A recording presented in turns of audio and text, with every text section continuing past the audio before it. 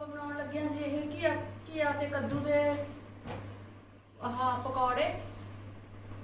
ਦੇਖੋ ਜਿਵੇਂ ਹੁਣ ਬੱਚੇ ਨਾ ਇਹ ਘੀਆ ਨਹੀਂ ਖਾਂਦੇ ਹੈਗੇ। ਆਪਾਂ ਉਹਨਾਂ ਨੂੰ, ਆਪਾਂ ਜਿਵੇਂ ਰਾਇਤਾ ਬਣਾ ਕੇ ਖਾ ਲੈਂਦੇ ਆ ਦਹੀਂ ਚੋਂ ਵੀ, ਦਹੀਂ 'ਚ ਵੀ ਖਾ ਸਕਦੇ ਆ ਤੇ ਅੱਜ ਆਪਾਂ ਘੀਏ ਦੇ ਪਕੌੜੇ ਬਣਾਉਣ ਲੱਗੇ ਆ ਨਾਲੇ ਤਾਂ ਮਤਲਬ ਇਹ ਜਿਵੇਂ ਹਰੀਆਂ ਸਬਜ਼ੀਆਂ ਨੇ ਉਹਨਾਂ ਦੇ ਪਕੌੜੇ ਬਣ ਜਾਣਗੇ। ਨਾਲੇ ਉਹਨਾਂ ਨੂੰ ਪਤਾ ਵੀ ਨਹੀਂ ਲੱਗਣਾ ਵੀ ਕਿਸ ਚੀਜ਼ ਦੇ ਬਣਾਏ ਨੇ। ਤੇ ਆਪਾਂ ਤਾਂ ਕਰਕੇ ਘੀਆ ਦੇ ਪਕੌੜੇ ਜਿਹੜੇ ਬਹੁਤ ਜ਼ਿਆਦਾ ਟੇਸਟੀ ਲੱਗਦੇ ਨੇ। ਚਾਹੇ ਚਾਹ ਨਾਲ ਖਾਓ, ਜਿਵੇਂ ਮਰਜ਼ੀ ਖਾਓ। ਹੋਰ ਪਕੌੜੇ ਤਾਂ ਤੁਸੀਂ ਪਹਿਲਾਂ ਬਹੁਤ ਸਾਰੇ ਖਾਦੇ ਹੋਣਗੇ, ਜਿਵੇਂ ਪਿਆਜ਼ ਦੇ, ਆਲੂ ਦੇ, ਪਾਲਕ ਦੇ। ਘੀਆ ਦੇ ਵੀ ਖਾਏ ਹੋਣਗੇ? ਅੱਜ ਆਪਾਂ ਘੀਆ ਦੇ ਪਰੌਂਠੇ? ਆਹ ਘੀਆ ਦੇ ਪਰੌਂਠੇ ਦੀ ਪਕੌੜੇ ਬਣਾਉਣ ਲੱਗਦੇ ਆ ਸਭ ਤੋਂ ਪਹਿਲਾਂ ਤਾਂ ਜੇ ਆਪਾਂ ਘੀਆ ਨਾ, ਜਿਹੜੀ ਇਹਨੂੰ ਛਿੱਲ ਆ ਦੇਖੋ, ਛਿੱਲ ਕੇ ਨਾ ਫਿਰ ਮੈਂ ਇਹਨੂੰ ਧੋ ਲੂੰਗੀ। ਧੋ ਕੇ ਫਿਰ ਇਹਨੂੰ ਕੱਦੂਕਸ ਕਰਾਂਗੇ। ਲਓ ਜੀ, ਜਿਵੇਂ ਮੈਂ ਇੱਕ ਘੀਆ ਛਿੱਲ ਲਿਆ ਹੈ ਦੂਜੇ ਨੂੰ ਛਿੱਲ ਲੈਣਾ। ਛਿੱਲ ਕੇ ਧੋ ਕੇ ਲਿਆਉਣੀ ਫਿਰ ਆਪਾਂ ਕੱਦੂਕਸ ਕਰਦੇ ਆਂ। ਫਿਰ ਅੱਗੇ ਅੱਗੇ ਤੁਹਾਨੂੰ ਜਿਵੇਂ ਜਿਵੇਂ ਵੀਡੀਓ ਹੋਊਗੀ, ਉਵੇਂ ਮੈਂ ਦਿਖਾਈ ਚੱਲਾਂਗੀ। ਲਓ ਜੀ ਘੀਆ ਮੈਂ ਛਿੱਲ ਕੇ ਧੋ ਲਿਆ ਹੁਣ ਮੈਂ ਦੇਖੋ ਕੱਦੂਕਸ ਕਰ ਰਹੀ ਹਾਂ ਕੱਦੂਕਸ ਕਰਕੇ ਨਾ ਆਪਾਂ ਨੇ ਜਦੇ ਇਹਨਾਂ ਨੂੰ ਪਾਣੀ 'ਚ ਪਾ ਦੇਣਾ, ਨਹੀਂ ਨਾ ਫਿਰ ਕਾਲੇ ਕਾਲੇ ਜਿਹੇ ਹੋ ਜਾਂਦੇ ਨੇ। ਘੀਆ ਕਾਲਾ ਕਾਲਾ ਹੋ ਜਾਂਦਾ ਜੇ ਆਪਾਂ ਪਾਣੀ 'ਚ ਨਾ ਪਾਓ। ਪਹਿਲਾਂ ਮੈਂ ਇਹਨਾਂ ਨੂੰ ਕੱਦੂਕਸ ਕਰਕੇ ਫਿਰ ਪਾਣੀ 'ਚ ਪਾਉਂਗੀ। ਫਿਰ ਫਿਰ ਆਪਾਂ ਇਹ 'ਚ ਜੋ ਕੁਝ ਮਿਲਾਉਣਾ ਹੋਊਗਾ ਮਿਲਾਵਾਂਗੇ। ਵੈਸੇ ਤਾਂ ਧੋਤਾ ਹੋਇਆ ਜੀ। ਜੇ ਨਾ ਪਾਣੀ 'ਚ ਪਾਓ ਨਾ, ਫਿਰ ਕਾਲਾ ਜਿਹਾ ਹੋ ਜਾਂਦਾ ਹੈ। ਠੀਕ ਹੈ ਜੀ, ਆਪਾਂ ਨੇ ਜਿਵੇਂ ਆਹ ਕੱਦੂਕਸ ਕਰਦੇ ਆਂ ਮੈਂ ਦੂਜਾ ਘੀਆ ਕੱਦੂਕਸ ਕਰ ਲੈਣਾ। ਲਓ ਜੀ, ਆਪਾਂ ਨੇ ਛਿੱਲ ਲਿਆ, ਕੱਦੂਕਸ ਕਰ ਲਿਆ, ਤੇ ਹੁਣ ਮੈਂ ਜਾ ਕੇ ਤੁਹਾਨੂੰ ਦੱਸਿਆ ਵੀ ਇਹਨੂੰ ਪਾਣੀ 'ਚ ਪਾ ਕੇ ਧੋ ਦੇਣਾ ਨਹੀਂ ਫਿਰ ਇਹਨੇ ਬਿਲਕੁਲ ਕਾਲਾ ਹੋ ਜਾਣਾ ਉਸ ਤੋਂ ਬਾਅਦ ਜਿਵੇਂ ਜਿਵੇਂ ਆਪਾਂ ਵੀਡੀਓ ਬਣਾਵਾਂਗੇ, ਉਵੇਂ ਮੈਂ ਤੁਹਾਨੂੰ ਦਿਖਾਵਾਂਗੇ। ਜਿਹੜੇ ਘੀਆ ਦੇ ਪਕੌੜੇ ਨੇ ਜੀ ਬਹੁਤ ਜ਼ਿਆਦੇ ਮਤਲਬ ਟੇਸਟੀ ਬਣਦੇ ਨੇ। ਤੇ ਹਰ ਇੱਕ ਪਕੌੜੇ ਤਾਂ ਆਪਾਂ ਬੇਸਨ 'ਚ ਬਣਾਉਣੇ ਇਹ ਵੀ ਬੇਸਨ 'ਚ ਬਣਾਵਾਂਗੇ। ਪਰ ਕਰੰਚੀ ਜਾਂ ਕਰਨ ਵਾਸਤੇ ਨਾ ਥੋੜਾ ਜਿਹਾ ਇਹਦੇ ਵਿੱਚ ਆਪਾਂ ਇੱਕ ਚਮਚਾ ਸੂਜੀ ਦਾ, ਇੱਕ ਚਮਚਾ ਮੈਦੇ ਦਾ ਵੀ ਪਾਵਾਂਗੇ ਜੀ। ਫਿਰ ਇਹ ਬਹੁਤ ਜ਼ਿਆਦਾ ਟੇਸਟੀ ਬਣਨਗੇ। ਠੀਕ ਹੈ ਜੀ। ਲਓ ਜੀ, ਮੈਂ ਘੀਆ ਧੋ ਲਿਆ ਤੇ ਫਿਰ ਵੀ ਕਾਲਾ ਕਾਲਾ ਹੋਣ ਲੱਗ ਗਿਆ, ਦੇਖੋ। ਤੇ ਉਸ ਤੋਂ ਆ ਦੇਖੋ ਜੀ, ਆਪਾਂ ਨੇ ਇਹ ਇਹ ਸੂਜੀ ਲਈ ਆ, ਇਹ ਮੈਦਾ ਲਿਆ ਤੇ ਇਹ ਬੇਸਣ ਲਿਆ ਜੀ। ਇਹਦੇ ਵਿੱਚ ਮੈਂ ਤੁਹਾਨੂੰ ਦੱਸਿਆ ਵੀ ਦੋ ਚਮਚੇ ਤਾਂ ਮੈਂ ਮੈਦੇ ਦੇ ਪਾਉਂਗੀ ਜੀ, ਦੋ ਚਮਚੇ ਸੂਜੀ ਦੇ ਪਾਉਂਗੀ, ਉਸ ਤੋਂ 4 ਗੁਣਾ ਬੇਸਣ ਪਾਉਂਗੀ, ਜਿੰਨਾ ਬੇਸਣ ਪਾਉਂਗੀ, ਉਹਦਾ ਚੌਥਾ ਹਿੱਸਾ ਇਹ ਸੂਜੀ ਤੇ ਆਪਾਂ ਇਹ ਮੈਦੇ ਦਾ ਪਾਵਾਂਗੇ ਜੀ। ਲਓ ਜੀ, ਤਿੰਨ ਚੀਜ਼ਾਂ ਪਾਤੀਆਂ ਮੈਂ, ਹੁਣ ਮੈਂ ਇਹਦੇ ਵਿੱਚ ਇਹ ਥੋੜਾ ਜਿਹਾ ਗਰਮ ਮਸਾਲਾ ਪਾਉਂਗੀ ਥੋੜੀ ਜਿਹੀ ਲਾਲ ਮਿਰਚ ਤੇ ਨਮਕ, ਔਰ ਹਰੀਆਂ ਮਿਰਚਾਂ ਵੀ ਲੈ ਕੇ ਉਹਨਾਂ ਆਪਾਂ ਹਰੀ ਮਿਰਚ ਤੇ ਧਨੀਆ ਵੀ ਪਾਵਾਂਗੇ ਜੀ। ਤੇ ਫਿਰ ਸਾਰੇ ਕਾਸੇ ਨੂੰ ਜੀ ਮਿਕਸ ਕਰ ਲਾਂਗੇ। ਲਓ ਜੀ, ਸਾਰਾ ਸਮਾਨ ਪਾਤਾ, ਨਮਕ, ਮਿਰਚ, ਮਸਾਲਾ ਆ ਹਰੀ ਮਿਰਚ ਤੇ ਹੁਣ ਧਨੀਆ ਤੋੜਨ ਗਏ ਨੇ ਪੁਸ਼ਪਿੰਦਰ ਜੀ, ਬਸ ਕੱਟ ਕੇ ਐਂਡ 'ਚ ਧਨੀਆ ਵੀ ਪਾ ਦਾਂਗੇ ਜੀ ਆਪਾਂ। ਇਹ ਸਾਰੇ ਘੋਲ ਨੂੰ ਆਪਾਂ ਨੇ ਹੁਣ ਮਿਕਸ ਕਰ ਲੈਣਾ ਜੀ। ਇਹ 'ਚ ਪਾਣੀ ਤਾਂ ਪੈਣਾ ਨਹੀਂ ਦੇਖੋ, ਜਦੋਂ ਪੱਕੀਆ ਧੋਤਾ ਸੀ, ਉਹ ਗਿੱਲਾ ਹੀ ਸੀਗਾ ਤੇ ਛਿੱਟਾ ਜਿਹਾ ਦੇ ਕੇ ਆਪਾਂ ਇਹਨੂੰ ਗੁੰਨਣਾ ਹੈ। ਜੇ ਥੋੜਾ ਜਿਹਾ ਪਾਣੀ ਪਾਤਾ ਨਾ, ਜਦੇ ਉਸੇ ਟਾਈਮ ਇਹਨੇ ਪਤਲਾ ਹੋ ਜਾਣਾ ਲਓ ਜੀ, ਪਕੌੜਿਆਂ ਦੀ ਫੁੱਲ ਤਿਆਰੀ ਹੋ ਗਈ। ਇੱਧਰ ਮੈਂ ਕੜਾਹੀ 'ਚ ਤੇਲ ਪਾ ਕੇ ਧਰਤਾ। ਐਨੇ ਤੇਲ ਹੁੰਦਾ ਜੀ ਗਰਮ। ਇੱਧਰ ਆਪਾਂ ਨੇ ਇੱਕ ਥਾਲ ਤੇ ਝਾਰਨੀ ਲੈ ਲੇ ਇੱਧਰ ਸਾਰਾ ਡੋ ਤਿਆਰ ਕਰ ਲਿਆ ਸੀ ਜੀ। ਤੇ ਮੈਂ ਪਹਿਲਾਂ ਹਲਦੀ ਪਾਉਣੀ ਭੁੱਲ ਗਈ ਸੀ, ਨਮਕ, ਮਿਰਚ, ਮਸਾਲੇ ਪਾਤੇ ਸੀਗੇ। ਤੇ ਜਦੋਂ ਮੈਂ ਪਾਣੀ ਪਾ ਕੇ ਇਹਨੂੰ ਪਾਣੀ ਨਹੀਂ ਪਾਇਆ ਸੌਰੀ ਵਿੱਚੋਂ ਨਿਕਲਿਆ, ਘੋਲ ਤਿਆਰ ਕਰਨ ਲੱਗੀ। ਤਾਂ ਫਿਰ ਇਹ ਧਨੀਆ ਵੀ ਕੱਟਿਆ, ਫਿਰ ਮੇਰੇ ਯਾਦ ਆ ਗਿਆ, ਫਿਰ ਮੈਂ ਥੋੜੀ ਜਿਹੀ ਹਲਦੀ ਪਾਈ ਆ। ਤੇ ਇਹ ਧਨੀਆ ਵੀ ਪਾ ਲਿਆ ਜੀ, ਆਪਾਂ ਧਨੀਆ ਵਿੱਚ ਰਲਾ ਲਾਂਗੇ। ਤੇ ਹੁਣ ਆਪਾਂ ਪਕੌੜੇ ਬਣਾਉਣੇ ਆ ਜਿਹੜੇ ਸ਼ੁਰੂ ਕਰਦੇ ਆ। ਬਸ ਮਾੜਾ ਜਿਹਾ ਤੇਲ ਹੋਰ ਗਰਮ ਹੋ ਜੇ ਜੀ। ਲਓ ਜੀ, ਆਪਣਾ ਸਾਰਾ ਕੁਝ ਤਿਆਰ ਹੈ ਤੇਲ ਗਰਮ ਹੋ ਗਿਆ। ਤੇ ਮੈਂ ਗੈਸ ਘੱਟ ਕਰ ਦੂੰਗੀ ਜੀ। ਤੇ ਮੈਂ ਤੁਹਾਨੂੰ ਦੱਸਦੀ ਆ ਜਦੋਂ ਆਪਣੇ ਹੁਣ ਸਾਡੇ ਘਰ ਦੀ ਬਹੁਤ ਸਾਰੀ ਘੀਆ ਲੱਗਣ ਲੱਗੀ ਤਾਂ ਆਪਾਂ ਨੇ ਮੇਰੇ ਵਾਂਗੂ ਤੁਸੀਂ ਵੀ ਜ਼ਰੂਰ ਟਰਾਈ ਕਰਕੇ ਦੇਖਣੇ ਨੇ ਜੀ ਘੀਆ ਦੇ ਪਕੌੜੇ। ਮੈਂ ਤੁਹਾਨੂੰ ਦੱਸਿਆ ਇਹਦੇ ਵਿੱਚ ਤਿੰਨ ਚੀਜ਼ਾਂ ਪਾਈਆਂ ਨੇ, ਘੀਆ ਕੱਦੂਕਸ਼ ਕਰਕੇ। ਇੱਕ ਦੋ ਚਮਚੇ ਮੈਦੇ ਦੇ ਪਾਏ ਨੇ, ਦੋ ਚਮਚੇ ਸੂਜੀ ਦੇ ਪਾਏ ਨੇ ਤੇ 8 ਚਮਚੇ ਮੈਂ ਬੇਸਣ ਦੇ ਪਾਏ ਨੇ। ਜੇ ਤੁਸੀਂ ਮੈਦਾ ਨਹੀਂ ਪਾਉਣਾ, ਤੁਹਾਡੇ ਕੋਲ ਆਪਸ਼ਨ ਹੈ। ਤੁਸੀਂ ਉਹਦੇ ਵਿੱਚ ਕਣਕ ਦਾ ਆਟਾ ਵੀ ਪਾ ਸਕਦੇ ਹੋ ਜੀ। ਜਿਵੇਂ ਕਣਕ ਦਾ ਆਟਾ, ਸੂਜੀ ਤੇ ਮੈਦਾ। ਸੂਜੀ ਤੇ ਕਣਕ ਦਾ ਆਟਾ ਬਰਾਬਰ ਮਾਤਰਾ 'ਚ ਰੱਖਣਾ ਤੇ ਬੇਸਣ ਆ ਜਿਹੜਾ ਜ਼ਿਆਦਾ ਪਾਉਣਾ ਬਾਕੀ ਤੇ ਨਮਕ, ਮਿਰਚਾਂ ਟੇਸਟ ਅਕੋਰਡਿੰਗ ਪਾਉਣਾ ਜੀ। ਆਪਾਂ ਨੇ ਹੁਣ ਇਹ ਗੈਸ ਘੱਟ ਕਰ ਦੇਣਾ ਤੇ ਕੱਲਾ ਧਨੀਆ ਰਲਾਉਣਾ ਰਹਿ ਗਿਆ ਸੀ ਜੇ ਧਨੀਆ ਰਲਾ ਲੈਣਾ ਆਪਾਂ ਨੇ। ਇਹ ਨਾ ਮੈਂ ਬਾਹਲਾ ਕੈੜਾ ਕਰਿਆ, ਨਾ ਪਤਲਾ ਦੇਖੋ, ਪਾਣੀ ਬਿਲਕੁਲ ਨਹੀਂ ਸੀ ਪਾਇਆ। ਕੀ ਆ ਨਾ ਧੋਤਾ, ਜਦੋਂ ਉਹਨੇ ਵਿੱਚੇ ਹੀ ਪਾਣੀ ਛੱਡਤਾ, ਉਹਦੇ ਵਿੱਚ ਹੀ ਨਿਕਲਿਆ ਆ ਇਹ ਸਾਰਾ ਕੁਝ ਲਓ ਜੀ, ਪਹਿਲਾਂ ਮੈਂ ਥੋੜਾ ਜਿਹਾ ਪਾ ਕੇ ਦੇਖਦੀ ਆ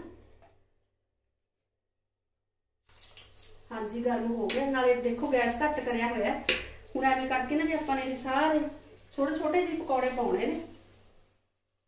ਆਪਾਂ ਹੱਥ ਨਾਲ ਵੀ ਪਾ ਸਕਦੇ ਆ ਪਰ ਚਮਚੇ ਨਾਲ ਹੀ ਪਾ ਦੋ ਤਾਂ ਜ਼ਿਆਦਾ ਬੈਟਰ ਹੈ।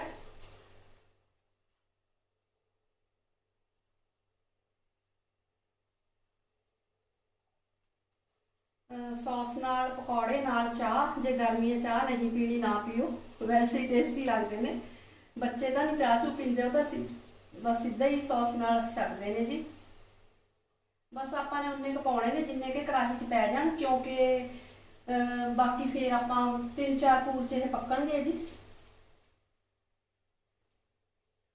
ਕੈਸਰੇ ਜੀ, ਇੱਕ ਵਾਰ ਤੇਲ ਗਰਮ ਕਰਕੇ ਘੱਟ ਹੀ ਰੱਖਣਾ, ਕਿਉਂਕਿ ਫਿਰ ਇਹ ਮੱਚ ਜਾਂਦੇ ਨੇ, ਫਿਰ ਇਹ ਨਾ ਮੱਠੀ ਮੱਠੀ ਆਂਚ ਤੇ ਹੀ ਮਤਲਬ ਪੱਕਣਗੇ। ਆ ਦੇਖੋ, ਹੁਣ ਨੇੜੇ ਤੋਂ ਦੇਖੋ, ਆਪਣੀ ਜਿਹੜੀ ਕੜਾਹੀ ਆ, ਬਿਲਕੁਲ ਭਰ ਗਈ ਆ।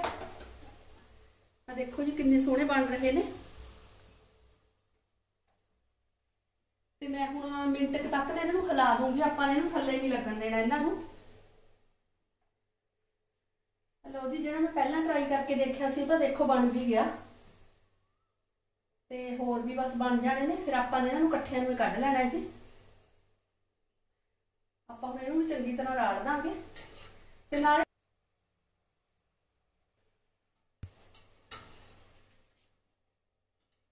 ਲਓ ਜੀ, ਆਪਣੇ ਜਿਹੜੇ ਪਕੌੜੇ ਸੀਗੇ ਇੱਕ ਵਾਰ ਦੇ ਪੂਰ ਦੇ ਬਣ ਗਏ ਨੇ। ਆਪਾਂ ਨੇ ਨਾ ਸਾਰਿਆਂ ਨੂੰ ਚੱਕ ਲੈਣਾ, ਚੱਕ ਲਿਆ ਜੀ। ਹੁਣ ਆਪਾਂ ਨੇ ਨਾ ਇਹਨੂੰ ਆ ਦੇਖੋ, ਜਿਹੜੀ ਝਾਰਨੀਆਂ ਨੇ ਇਹਦੇ ਵਿੱਚ ਪਾ ਕੇ ਆਰਾਮ ਨਾਲ ਇਹਨੂੰ ਕੱਢਣਾ। ਇਹਨੂੰ ਨਾ ਬਿਲਕੁਲ ਆ ਦੇਖੋ, ਤੇਲ ਨਹੀਂ ਜੀ ਛੱਡਣਾ ਇਹਦੇ ਵਿੱਚ, ਬਿਲਕੁਲ। ਐਂ ਕਰਕੇ ਝਣਕ ਦੇਣਾ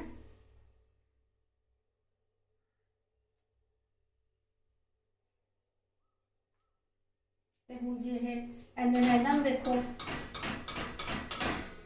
ਇੱਧਰ ਧਰ ਦੂੰਗੀ ਤੇ ਇੱਧਰ ਨਾਲ ਦੀ ਨਾਲ ਮੈਂ ਹੋਰ ਪਾ ਲੂੰਗੀ ਜੀ ਫਿਰ।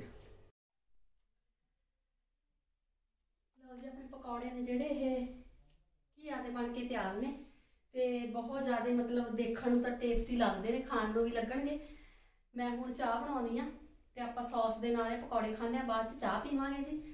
ਤੇ ਵੈਸੇ ਤਾਂ ਗਰਮੀ ਹੈ ਚਾਹ ਠੀਕ ਨਹੀਂ ਲੱਗਦੀ, ਪਰ ਬਾਅਦ ਚ ਨਾ ਜੇ ਪੀਲੇ ਲਏ ਥੋੜੇ ਹਜਮ ਜੇ ਆ ਜਾਂਦੇ ਨੇ, ਤੇ ਆਪਾਂ ਫਿਰ ਹੁਣ ਇਹਨਾਂ ਨੂੰ ਛਕਦੇ ਹਾਂ ਜੀ। ਸਾਰੇ ਫੈਮਿਲੀ ਮੈਂਬਰ ਨੂੰ ਇੱਥੇ ਇਕੱਠੇ ਕਰਦੀ ਆ ਇੱਧਰ ਉੱਧਰ ਖਿੜੇ ਪਏ ਨੇ। ਤੇ ਇਹ ਬਿਲਕੁਲ ਨਹੀਂ ਮਤਲਬ ਆਮ ਪਕੌੜੇ ਵਾਂਗੂ ਬਣ ਜਾਂਦੇ ਨੇ, ਬਿਲਕੁਲ ਟਾਈਮ ਨਹੀਂ ਲੱਗਦਾ ਹੈਗਾ। ਮੈਨੂੰ ਦੇਖੋ ਬਣਾਉਣ ਨੂੰ ਸਿਰਫ ਤਕਰੀਬਨ 10 ਕੁ ਮਿੰਟ ਲੱਗੇ ਨੇ।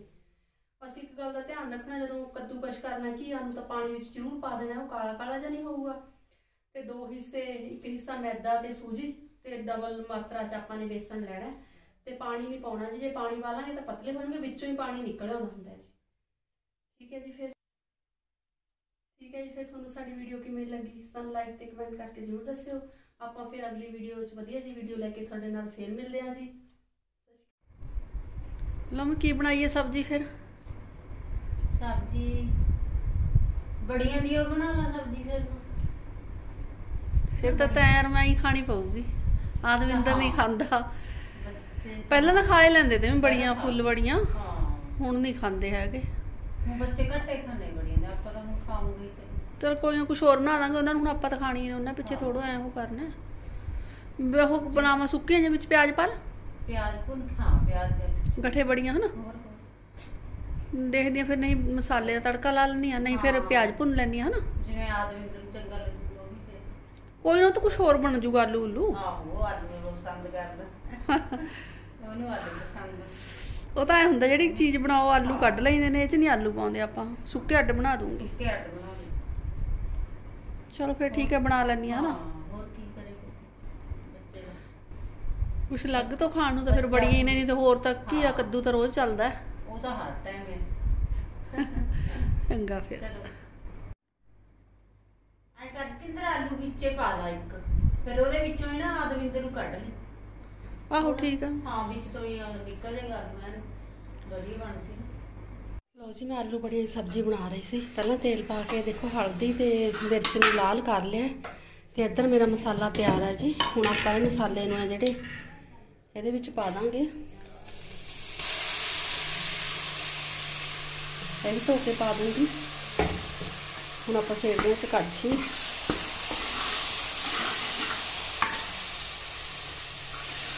बड़िया की सब्ज़ी ना बहुत ज़्यादा वजिए बनती है तो मसाला भुजे तो फिर मैं ये बड़िया पाऊँगी